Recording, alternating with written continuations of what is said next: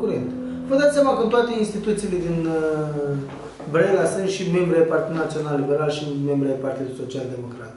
Am văzut că s-a ajuns la niște lucruri, le pot spune mizerabile. Să-l întrebi pe Alex, pe colegul meu, cum s-a angajat nevastă la însoția dumnealui la uh, direcția agricolă. S-a angajat fix cum s-a angajat și nevasta dumnealui la Transgas. Și mai sunt vreo 4-5 lideri PSD care au soțiile acolo.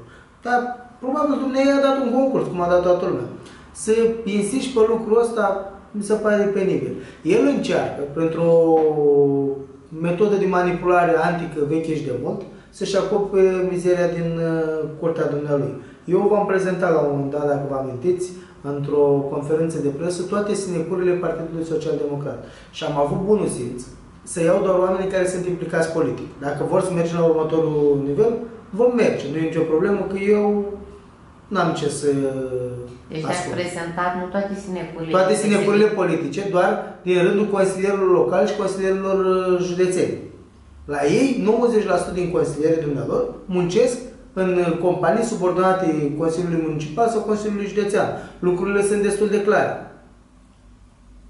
Ce, despre ce vorbim?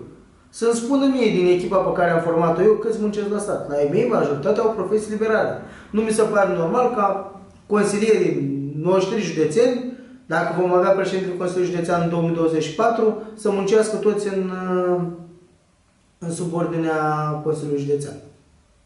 Dar aveți liberali care s-au angajat prin concurs sau altfel în ultimii 2-3 ani, să zic, la direcția de sport, la, la APIA, direcția de sport, din ce știu eu, nu, la APIA, nu. Și la uh, uh, direcția sanitară veterinară. Știți ce, se, știți ce se întâmplă? Nu avem, vă pot spune sigur că nu sunt uh, liberali care sunt uh, importanți, le pot spune, care sunt în conducerea partidului, angajați acum. Dar noi avem 1980 de membri, 2000 de membri. Din 2000 de membri, dacă un membru de al meu s-a dus s-a angajat undeva, vă spun sincer, eu nici nu cunosc toți membri. Eu vorbesc doar cei pe municipiu. Cu județul toți suntem undeva la 3000 și ceva de membri de partid.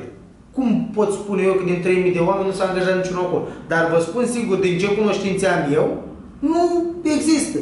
Păi vă dau un exemplu. Cine sunt uh, uh, astăzi oameni importanți? Cătălin Canciu a fost inspector școlar, schimbat de PSD, a luat concursul, spre deosebire de alții, a luat Alexandru Bucălău este notar, domnul Midescu este notar, uh, Florin Dobrescu este ieșit la pensie, nu are nicio, nu are cum să fie angajat. Eu nu o să, n-am cum să mă angajez vreodată la stat. Uh, Alex Bajnou este medic. Uh, doamna Ivașcu este avocat.